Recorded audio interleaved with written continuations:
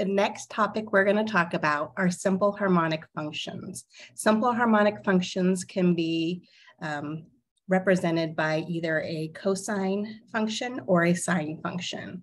So we've kind of talked about these similar problems in the past when we were graphing sine and cosine and we were doing applications. I don't know if you remember, but we were looking at the tide, how the tide, there was high tide and low tide, and we could represent that with either a sine or a cosine function. So we're going to look at a simple harmonic function. Let me just read through this and then let's talk about some certain examples. So in front of you, it says simple harmonic functions. So an object that moves on a coordinate axis so that the displacement d from its rest position at time t is either given by d of t equals a cosine omega t, or d of t is equal to a sine omega t, where a and omega are greater than zero, or where a and omega greater than zero are constants, moves the simple harmonic motion. The motion has the amplitude of absolute value of a and a period t of 2 pi all over omega. So again, some, um, similar to what we were doing in the past when we were graphing sine and cosine functions. That absolute value of the coefficient in front of sine or cosine, that was the amplitude. And we could find that period by looking at 2 pi divided by omega. The frequency f of an object in simple harmonic motion is the number of oscillations per unit of time. Since the period is the time required for one oscillation, it follows that the frequency is the reciprocal of the period. That is f, that represents our frequency, is equal to 1 over capital T, where T is representing our period, which is equal to omega over 2 pi. Again, omega greater than 0. So think about having a spring if it's in resting position, where I haven't taken that spring and pulled it down, um, we would say that's either in resting position or equilibrium position. As I pull that spring down and then I release it, that spring is going to start bouncing back and forth. We are going to just look at these problems for simple harmonic functions so it continues at the same rate. A lot of times um, applications, real life situations that would slow down until it start, starts to rest. And that's called a dampened harmonic function. But we're in this class just going to look at the simple harmonic functions. So let's look at an example and I have one in front of us. The following example says d of t is equal to 5 cosine pi halves t. Describe the motion of the object. What is the maximum displacement from its rest position? What is the time required for one oscillation? And what is the frequency? So looking at d of t, I see that this is equal to 5 cosine pi halves t. One other thing before we continue with this problem, I just kind of wanted to state, if you are starting at the rest position, you want to use your sine function. If you recall, sine function started at the origin or at the midway line if we had some vertical shift, and then it increased and came down. Where if we were looking at a cosine function that did not start at our origin or midway line, it started at our maximum point, unless our A value is negative and then it was um, a reflection across the x-axis. So it'd be going in the opposite direction when we started. For sine, it would have came down and then up. For cosine, we would have started at the minimum value and came up. If our A value the number coefficient in front of our sine or cosine was negative. That's what's going to happen. But the main point I want to say is if you're starting at the rest, resting position for your application, you're going to use sine. And if you're not starting at the resting position, you're going to use your cosine function. So back to our problem that we have, d of t is equal to 5 cosine pi half t. Part A wants us to describe the motion of that object. Well, because I have a cosine function and my number in front of the cosine is positive, I know I'm starting at my maximum value. So I'm not starting at the resting position. So let's look at graphing this, and that's a good review um, for what we did in chapter seven in our textbook with graphing trigonometric functions. So I know my amplitude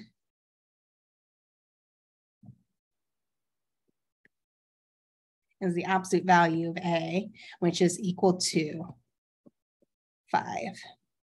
So let's find our period.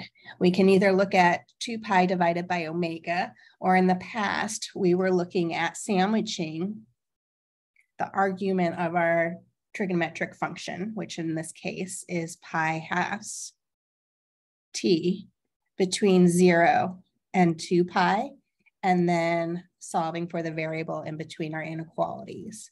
So in this case, we can clear that fraction, get rid of the 2 in the denominator, by multiplying each side of our inequality by 2. So multiplying everything in here by 2, we get that 2 times 0 is 0, is less than or equal to 2 times pi halves t, which is pi t, which is less than or equal to 2 times 4 uh, 2 times 2 pi, which is 4 pi. Then we isolated t. We could do that by dividing everything through by pi. So dividing everything through by pi.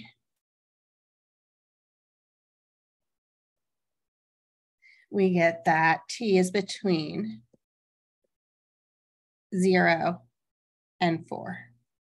So that length between zero and four, because there's no um, horizontal shift or phase shift was what we were calling that. So since there's no phase shift here, um, the length between zero and four is four. So I can see that my period is four. So it's gonna take four seconds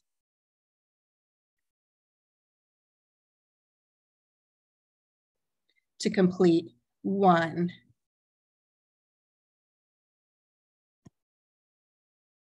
oscillation.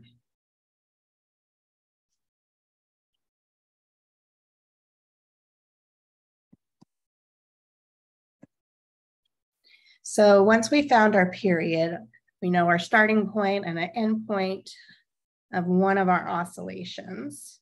So zero and four was the ending spot. We then looked for our, halfway point, which is easy in this case. Between the zero and four would be two. The quarter way point would be one, and the three quarter point in this case is three. Our amplitude is five. There's no vertical shift. And it's a cosine function, so we're starting at five. We come down and hit the midway line at the quarter. And then at the halfway point, we're hitting our min value, which is negative five. We turn back around, hit our midway line, which is in this case, the x-axis, and then hit our max. And so graphing one period, our graph looks like this.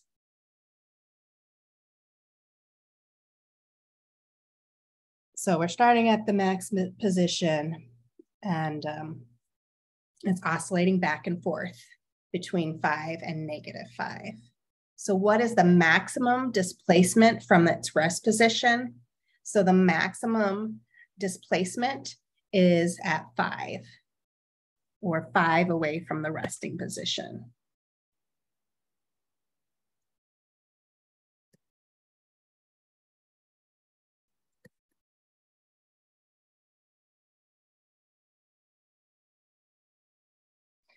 What is the time required for one oscillation? Well, we already solved for that. That was four seconds.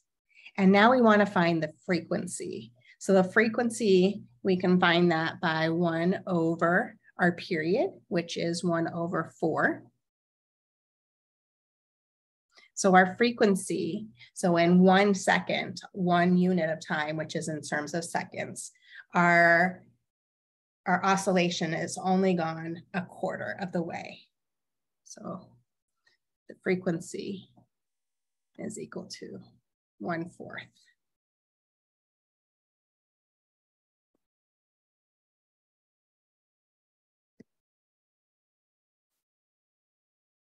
So these are, again, a great um, review for graphing sine and cosine functions.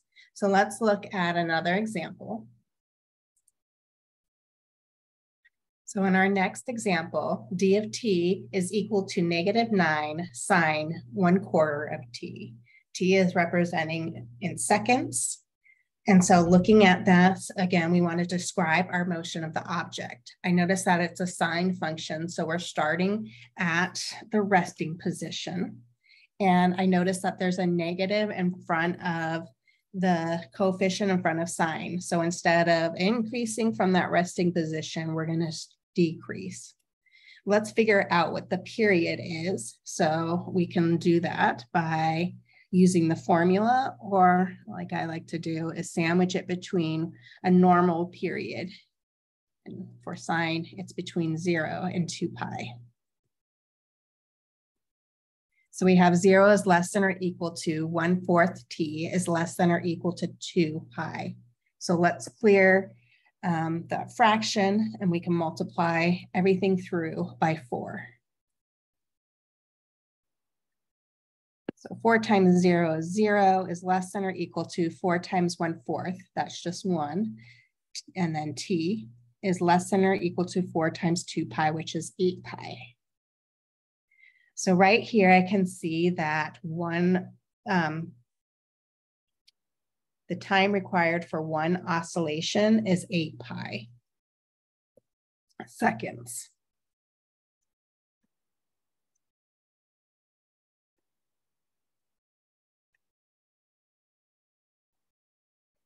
So what is the maximum displacement? Well, let's graph this really quickly. And so if we look at the graph of this, our maximum is going to be at nine away from the resting point.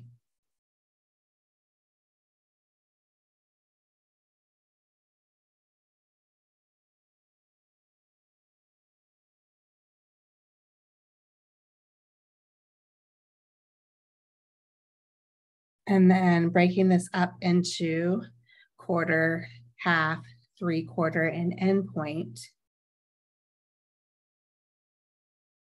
Well, we know the n value of one period is 8 pi, starting with 0. Halfway point between 0 and 8 pi is 4 pi. Quarter way point halfway between 0 and 4 pi is 2 pi. And the halfway point between 4 pi and 8 pi is 6 pi. And it's sine, so we're starting at the resting position. It's a negative coefficient in front, so we are uh, decreasing first. So at 2 pi, we hit negative 9. At 4 pi, we're back up to resting position. And at 6 pi, we're hitting 9.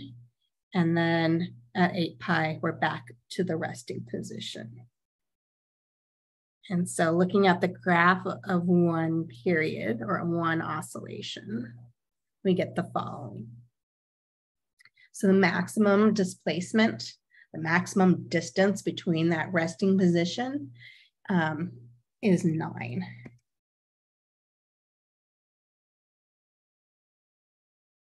And then what is the frequency?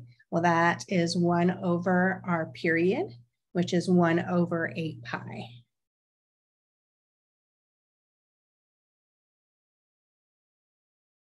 seconds.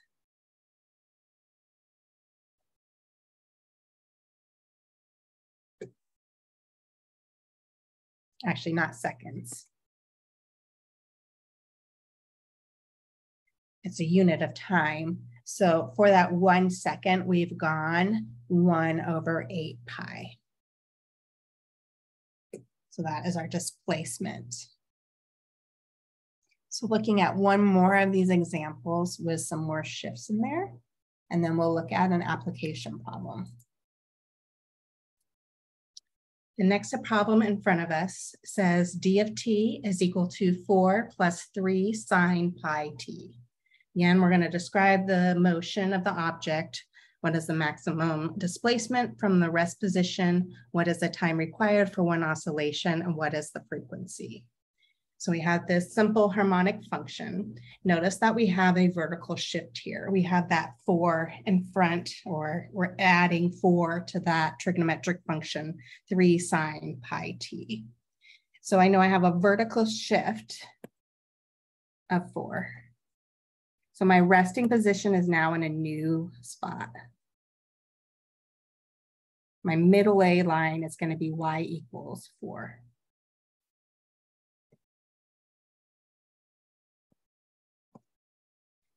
So let's look at this graph. We now again know our midway line is at four. So I'm gonna put a dotted line for my midway line.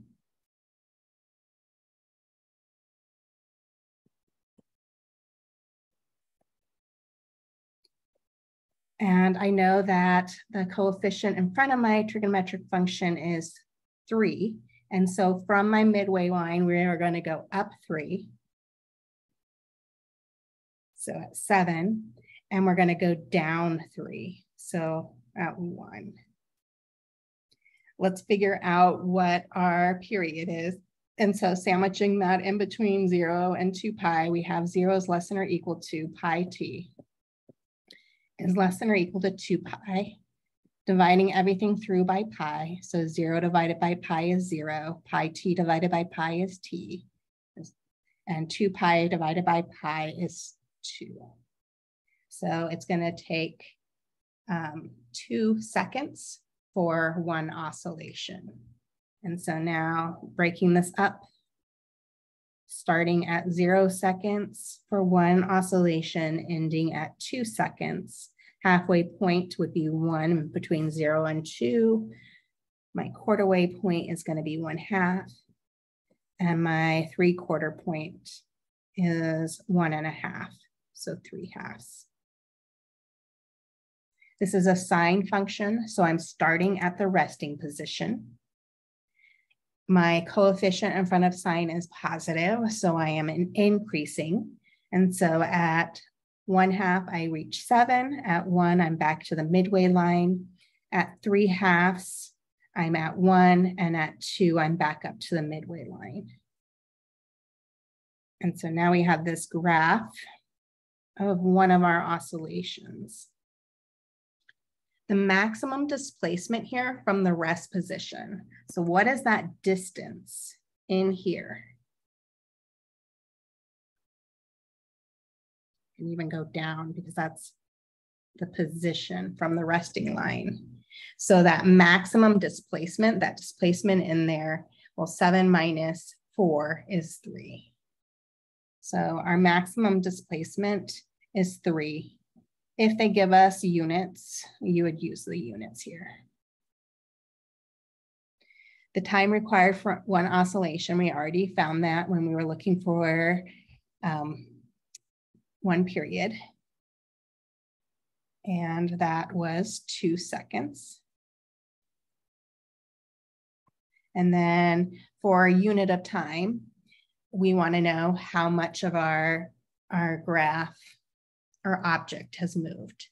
So that again is one over a period, one over two. And so for one unit of time, we have done one half of an oscillation.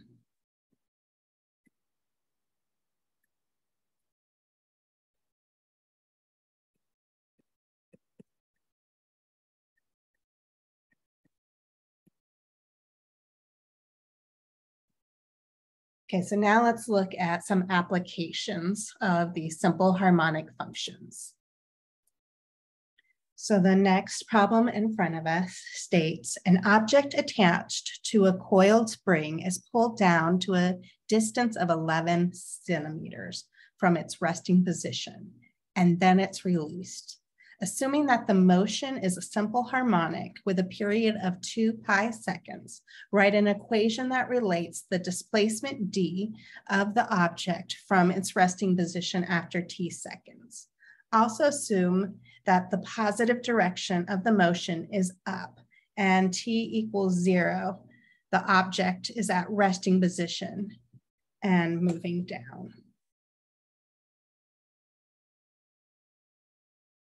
Okay, so we're at resting position and then we're moving down and we wanna find this equation d of t that represents the position of our object after time t.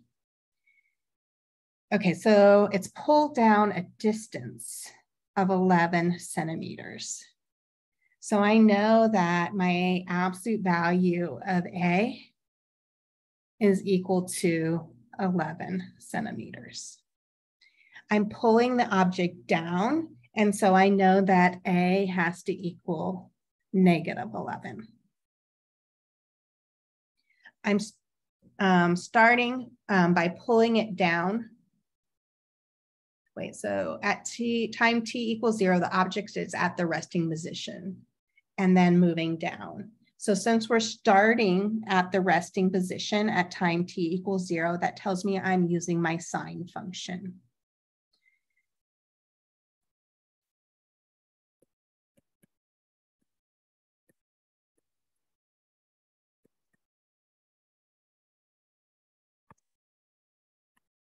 So now let's look at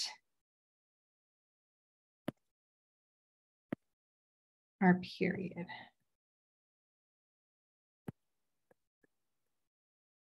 with a length of one oscillation. So it tells me that assuming that the motion is simple harmonic with a period of two pi seconds. So recall our period, they denoted it with capital T, is equal to 2 pi divided by omega. And so we know what T is. We know T is 2 pi is equal to 2 pi divided by omega. I can see this as 1, but if you don't, or if it didn't come out that easily, we would solve for omega. So let's clear our fraction by multiplying omega on both sides of our equation. We get 2 pi omega is equal to 2 pi. Isolating omega, dividing both sides by 2 pi, we get omega is equal to 1.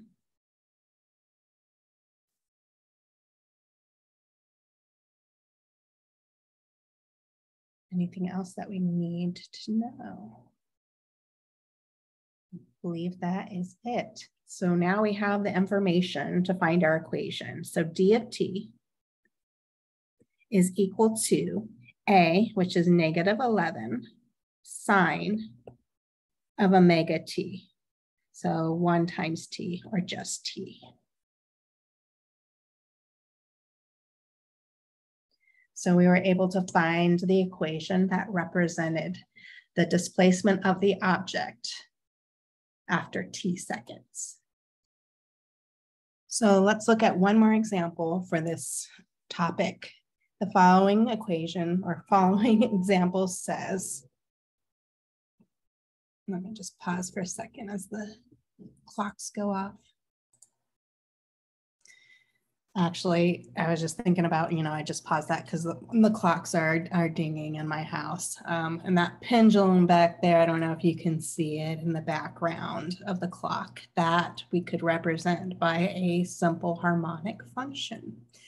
Maybe I should get some more information about the distance that it's traveling from this displacement of resting, the pendulum resting, displacement, the highest part it goes would be our displacement and then back. But anyways, um, so let's look at the following example that is in front of us, which says find an equation of a simple harmonic motion with frequency f equals one cycles per second and amplitude is two centimeters. Assume zero displacement occurs at t equals zero. Okay, so it tells me that I'm assuming that the zero displacement occurs at t equals zero. That means I'm starting at my resting position. Starting at my resting position, I'm going to use my sine function. My amplitude is two centimeters. So A is equal to two. And I know my frequency is one. So I need to figure out what my argument is of my sine function. And so we can do that by looking at our frequency as one cycle per second. Um, we know that one over t is equal to one. T though is equal to two pi over omega. So I have one over two pi divided by omega is equal to one. I don't really like that complex fraction, but we can rewrite it. That's one divided by two pi over omega. Dividing with fractions, we take the first term, in this case one, times the reciprocal of what we were dividing by, which is omega over 2 pi would be that reciprocal equals 1. So solving for omega, getting omega by itself, I would just multiply both sides of my equation by 2 pi. And 2 pi times omega over 2 pi is just omega is equal to 2 pi times 1, which is 2 pi.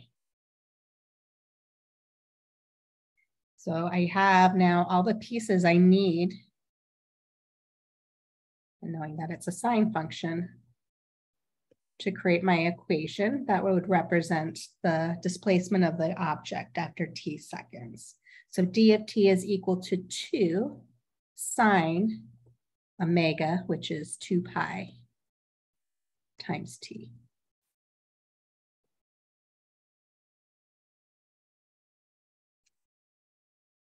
So that is the information on simple harmonic function. In our textbook, this is section 9.5. Hopefully this was a great review for you guys and graphing trigonometric functions sine and cosine.